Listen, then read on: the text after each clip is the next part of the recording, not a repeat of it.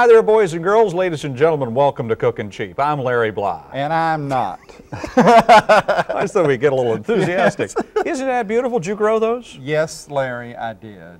I grew them in my personal greenhouse attached to my home. Uh-huh. No, they were brought in by Doris. Doris and Harold. Mhm, They're Both- wonderful. they Very- both brought little those in. miniature roses, they're just gorgeous. And they smell so good, Mm-hmm. and there's such an improvement over normally the scratching in the background Uh, tickles. We'll tell you about that in a minute.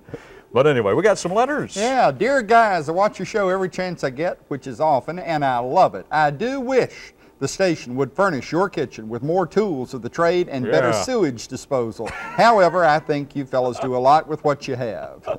Thank you for all the good laughs and good food recipes. And that's from Mary uh, Bowling in Bishop, Virginia. And Mary, uh, you'll be happy to know that our former general manager, who is now our general manager emeritus, the fabled Rex, brought in practically everything from his kitchen and gave it to the show. And we want to thank Rex for that because it is certainly going to help us a lot.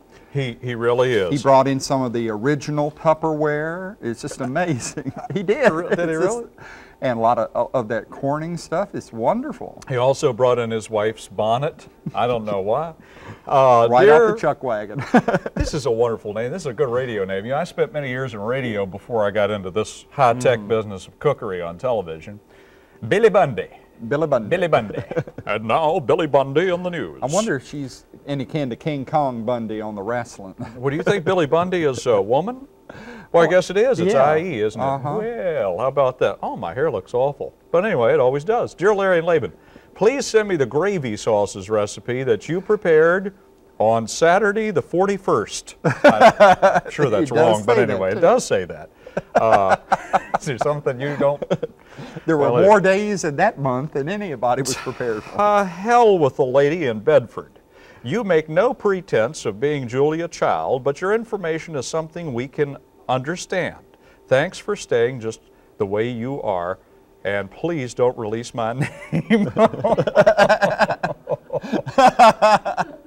well, that's all right. Uh, we, we won't. All right. Okay? All right. Billy? And here is uh, a, a lady that also doesn't want us to uh, use her name, but she's from Blacksburg, Virginia. Who is she? And she writes and says that although I'm an elderly woman who started in Ziegfeld and Kern shows on Broadway, about which I can write a novel loved by English professors who can't put it down, see, see more and more, uh, I can get a publisher agent to read an unpublished author. And uh, she said that she attended the Cordon Bleu briefly Ooh. and find your recipes very usable. And I, well, just want to thank you so much. Uh, our secret friend from the Ziegfeld Follies, thanks for writing and telling us that we compare with the Cordon Bleu. Well, I've had their chicken. It's Yes. marvelous, really. Dear Laban and Larry, after watch, by the way, we'll be giving uh, Billy's uh, home, Home number and uh, address momentarily. That'll be coming up on the screen. Dear Laban and Larry, after watching Cooking Cheap for the very first time Saturday, I just had to write this letter. There are a few things I'd like to say. First of all, you guys have the Cosby Show beat all to pieces. Uh-huh. That's never been said around here. Maybe you should consider taking your act on the road. We have indeed done that on occasion, but for piddly amounts of money. Kindly, I'd love to have an autograph of both of you. Oh, isn't it? You write these, don't Yeah. you? Uh, got the feeling that you're headed for bigger and better things. well, we've had that feeling for eight years, and I just don't quite know what they are. Ha ha. All seriousness aside, I certainly did enjoy watching the show and eagerly waiting the next time, blah, blah, blah, blah, blah. And that's from Carol Cook, one of the Cook sisters Uh-huh. from well, Amherst, Virginia. well, thanks, Carol. Thank you very much. We love letters Yeah. like that. We pay people to write letters like Well, you know, this. we need to get over here to the kitchen. We really do. We have a lot of things to do. And Larry, since you're doing chicken today, we uh, thought we would uh, bring in a chicken so that what, what? is this? that's a chicken. That's what they look I like before they get a in, the, chicken. in I was package. raised. I raised chickens when I was a kid. What's Oh. her name? Freckles. Freckles. Oh, How you doing, Freck? What kind of chicken is that? Let me ask you something, uh, Doris. Did did she lay all of these uh, today or what? Super chicken. Yeah. Super chicken. Well, Yeah, it she- certainly is nice to have something lively She had besides chicken my, and this, it certainly is something nice to have something lively besides myself on the program. Oh. Thank you very much. I am uh, burning some chicken. I'm burning some chicken on the stove. No, I am burning some chicken on the stove. I am frying some chicken and I'm browning it on both sides in a little margarine. Now, don't you think that's pretty? Yes. It does not look burned except for a couple of pieces. And something wrong with that one. It won't turn over. But I am. I'm, I'm going to make quick chicken saute, and we'll get to the saute part here in just a couple of minutes. But right now, I'm just browning a little chicken on both sides. I hope Freckles doesn't get upset or nervous because I'm frying this chicken. But you know, I did raise chickens when I was a kid. I had to gather thousands of eggs every day. That's what I did for the first 12 years of my life. That's Well, true. Did you win a lot of True story. ribbons at the Shenandoah County Fair? Oh, no, no, no. They just laid eggs for Oh. money. We didn't show chickens. Who cares? Chicken's a chicken. See one, you've seen them all. Except Oh. you, Freckles, darling. I was going to say that chicken's agent is No, going to be she, in here on she's you. real. She's special. She really is. Uh, you start All while right. I'm salt. Well, I'm right. I'm just browning a little chicken. All right. Uh, a couple of uh, Chicken breast. chicken breasts, boneless. I just boned them myself a few minutes ago. Saved a lot of money. I bought them with bones on and ripped them out, and I'll save a lot of money. Now to Laban. Well, I'm going to make a hot potato salad. And uh, Ooh, this is I a like really that. neat kind of recipe. I've got six slices of bacon in here, and uh, we're going to fry it gently in this iron skillet, and that will help make the dressing for the chicken salad. And uh, I've also got a pound and a half of boiled uh, potatoes. These are the red skin potatoes, and it's real easy to peel these babies. I love their football team. Yes, Yeah. these are Washington Redskins.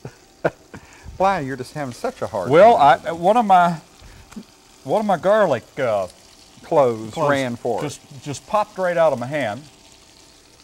Went right But into the trash. Anyway, can. after you, uh, these potatoes, incidentally, should this potato was cooked an hour or so ago, so it's lost some of its heat. But for this salad, you can. Uh, this is a hot salad, so this preferably should be a, a hot potato. I remember hot salad.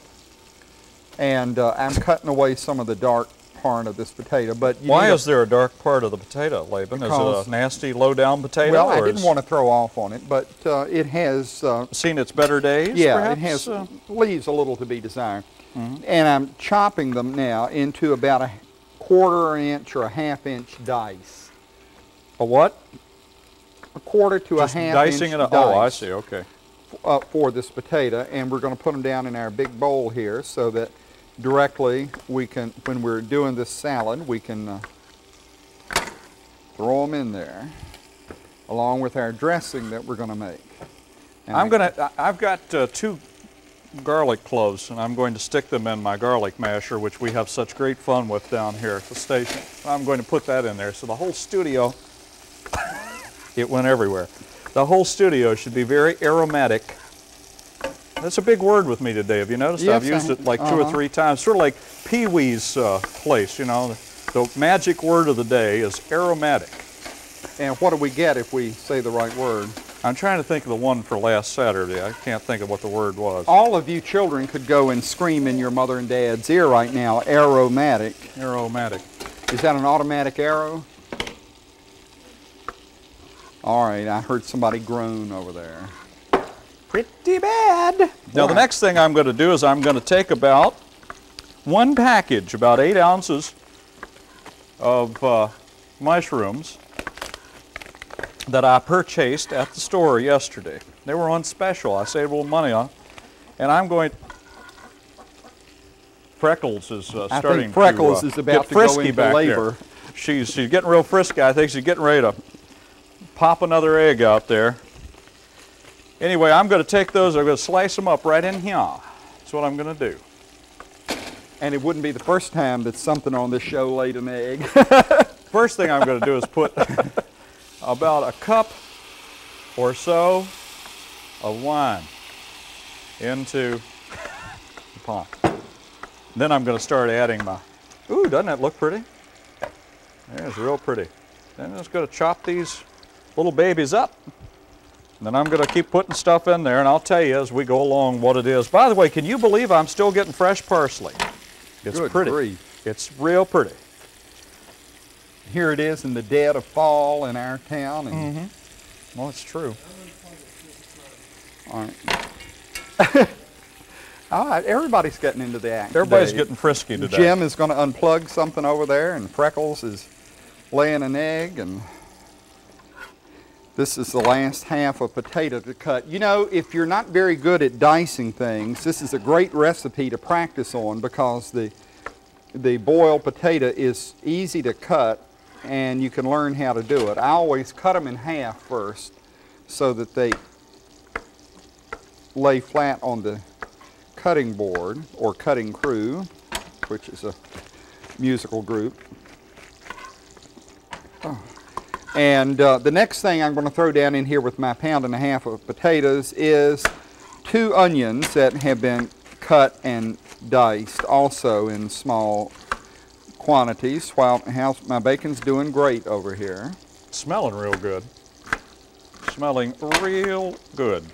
I think this is a whole lot of uh, onion, but I figured, well, you know, who are we going to be messing around with on this show?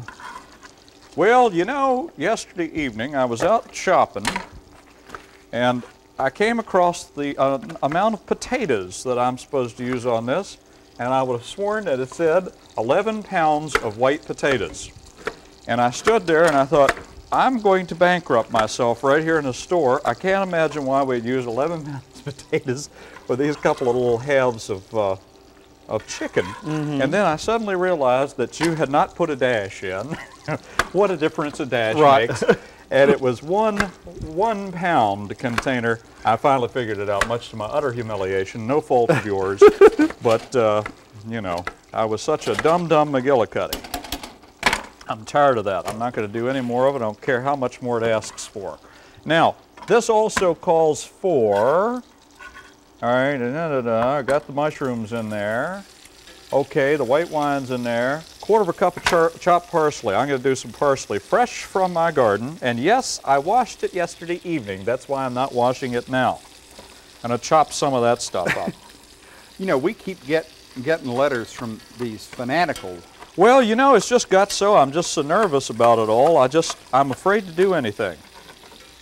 Because if you, you did everything that people wanted you to do, you'd never get anything done in the kitchen. like taking soap and water to the chicken. Now, that's just carrying it too far. As long as you're not eating it raw. I'll throw that in there. A little parsley. This stuff smells like, isn't that great? You just can't, there's nothing like fresh parsley. I love it. People don't eat enough of it. All they do is put it on their plates to make it look pretty, and they ought to be eating the stuff. There we go. Now I got to put a whole lemon, the juice of a whole lemon in there also. So I'm going to juice a lemon right now with some of our fine plastic juiceria equipment. I hope it doesn't break because I really am doing this very poorly, but I've, I'm in a hurry at this point. See, getting down to a very dangerous point, last 10 minutes of the show. Well, thanks. That was very subtle. We're getting real good at throwing those cues around. That's a whole lemon. That worked out real nice. Mm-hmm. And I only got a minimum of seeds in it. I'll pour that in there. Woo, you know that's going to be good, that lemon and chicken. Mm-hmm. And I'm chopping up four hard-boiled eggs to go in this thing. Well, the last thing I have to do is make some attempt at opening these whole white potatoes. These are the canned ones. I would assume that if you have, Do you ever use canned potatoes? we knew this was going to happen on the show one day. We can't get into the potatoes. Is this the uh, best uh, we can do as far as the? Uh, this is really a poor excuse for an opener. I'm determined I'm going to get this open if it takes the rest of the program, and it probably will. Slowly, I'm making my way around. We had a real fine opener, was but this it Rex's opener? Was this uh, Margie's opener one time? It's, it's. Oh, thank God. Thank you. that was wonderful.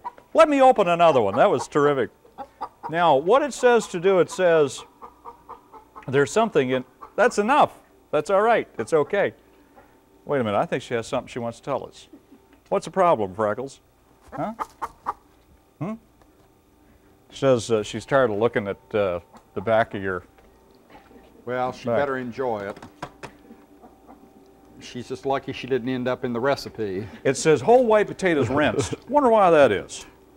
Whole white potatoes rinsed. I don't know. I guess they got something noxious on them. You see these potatoes? If you have any of these little fresh potatoes in the spring, you can use them yourself. Mm-hmm. You don't have to buy them out of a can. I've, I've never used a canned potato in my life. This is the first time I've ever used one, but that's what the recipe called for. Mm-hmm. So I'm going to disappear, thank you, and I'm going to go back and I'm going to rinse them, trying not to get any on the chicken. Yeah, don't get any on there. I'm trying to get this chicken to fry. Why would you rinse them off? I don't understand. I don't know. Maybe, maybe who sent this recipe? And put that in there. Who's, where'd this recipe come from? This recipe came from uh, Marilyn Fay of Richmond, Virginia. Well, maybe Marilyn is kin to that woman down there in Richmond that got on us about not washing stuff. And look at that. That's what it looks like when you put it all together. I'm going to put a little pepper in there because potatoes just look unnatural. They just look white and pale. We'd have put some makeup on them for television if we'd have known they were going to look that way. And a little bit of salt. Whoops. Little, little bit of salt. Pay no attention. Uh, okay. And that's it. I, I guess that's everything. I hope that's everything. And now what you do is you just saute that for a while, which means it would be nice if I had a lid. No, you- it- it'll be you don't, fine. You don't need? No, I don't don't need? You don't think You these things will be cold inside? Like Well, little, they probably will. I mean, because we don't have as much time maybe as you would need. well, you just continue to saute that till all these flavors, obviously until the, the mushrooms get done and the potatoes heat up. But if you want to cut your heating time on potatoes in half, of course, it, it, it sort of cuts down on the presentation quality, but you can always cut them in half, like so. All right. These potatoes are, are like glue. All right. Now, over here, Over I'm making the dressing for this uh, thing, and I've fried my six slices of bacon in my pan, and now I have to add two tablespoons of sugar. Yeah. Oh, I don't have a tablespoon. That's all right. I'll just. I'll get Wait, you No, that's all right. Here, that's a handful, All right. and you put that right down in the hot bacon fat, and you also need a half a cup of vinegar. And there's my vinegar. And let me stir this all around here. Well, that certainly is interesting. And while that's cooking, I'm going to, uh, if I can get it, pepper in here. And we're going to use a little bit of salt in our potato salad. Now this is all, Freckles says she feels an egg coming on. oh good. Now what happens is we're going to dump all of this down into the potato Oh, you know that's just going to ruin that fine plastic. Woo! oh, that was hot. My, oh my, that was very hot. How hot was that, Laban? That was so hot Uh-huh. I'm going that to work some of my relatives would feel at home with it. I'm gonna work these low down potatoes down right, in here. let me These Turn this all around here. You know, maybe we ought to uh, give the recipe for this thing. What do you think? All right. Freckles is going to give the recipe. There you go. The quick chicken saute, and it really is quick. You saw I put that together in a matter of moments. Uh, two crushed garlic cloves, juice of a lemon, a half stick of margarine. You'll start out sauteing it, and also to make sure that you brown the chicken breasts boneless on both sides. Okay, and these were halved. I halved them myself. Well, And aren't you? then a half pound of sliced mushrooms, all chopped up fresh, or you can leave them whole if you want to. I chopped them because we didn't have an awful lot of preparation time. A can of whole white potatoes rinsed, or if you have fresh, preferably. A half cup of white wine, quarter cup char- chopped parsley, or charged parsley. Salt and pepper to taste. And, and then just warm it all up, and it's beautiful. It's lovely. And for the hot potato salad, you need a pound and a half of boiled potatoes, diced, four boiled eggs, diced, two medium onions, diced, six slices of bacon cut into one inch pieces and fried uh, with salt and pepper to taste. Also, uh, two tablespoons of sugar and a half a cup of vinegar. And those are the ingredients for the hot potato salad. Now, I wonder if Witchy is. Uh, You remember that time when Freckles got caught in that windstorm and laid the same egg 14 Uh, times? uh-huh. Yeah, I remember that. well, let's get the Witch in the here witch. Oh, okay. and see what Miss Witch, or I guess we should say Mrs. Witch. Mrs. Witch, yes. Uh, because we has don't, she's done a low Passover. Dear boys, Junior and the boys is gone off hunting this weekend. Hmm. Lord knows I hope they come back. It is just so dangerous out there in the woods anymore. Uh, Little Bobby Bill shot old Miss Simpkins where she sits down last year. He claimed that he thought it was a big old boar hog, shot her right But- in the rocking chair. What? but we think he was just trying to get even with her for giving out nasty turnip fried pies on Halloween. anyway, they says they're plan- planning to get some quail. In case they actually do, y'all reckon you could give me some kind of new idea for cooking them? And that's from Sue Martha Driscoll of Collards Fork, North Carolina. Matter of fact, next week we'll do just that. yeah, we'll do our dead indeed. level best Well, next week. I'm a reckoning. Well, I reckon and we you're ought a to go on- grinning. Yeah, let's go on over here. Now, let's go over here. Now, don't start up with that chicken. No, I was just Well, passing you by. don't know where it's been. I can't help it. well, I'm gonna, I'm gonna wait for him to get finished doing that, and then I'll do this. This looks interesting. Looks real pretty. It's a lovely presentation, as we like to say when we're doubtful about things. Well, are we down? That's enough. Well, I just wanted to get my share. You always do. Oh, here, make sure you get some of these potatoes. Oh, well, thank you so much. Oh, we got lots of potatoes on this meal. Do we have a toothpick? No. Well, it is real pretty. Uh-huh. Well, here, let me try some of this chicken. I hope it's done. Oh, I think it is. I think I wish I had my chainsaw with me. Oh, it's perfect. Mmm. Oh, that's got a nice flavor to it. I like the potato salad. is wonderful. It really is. That is good. Mmm. We do have a winner here, Oh, your your chicken is delicious. and it is. It is forkable. Mm-hmm. It's not tough like he said it was. It is good. I think. It's delicious. Oh, that fresh parsley and stuff. Mm-hmm. This is a good meal. It really is. One of the best we've prepared, I believe, since last week. Or since Hector was a or pup. whenever. But anyway, we want to thank our special guest today, Speckles. Freckles. Freckles. I'll swear you've insulted her again. sorry. I'm sorry. I didn't. You can't teach him anything. I didn't mean it. We'll see all y'all next week. Come on back.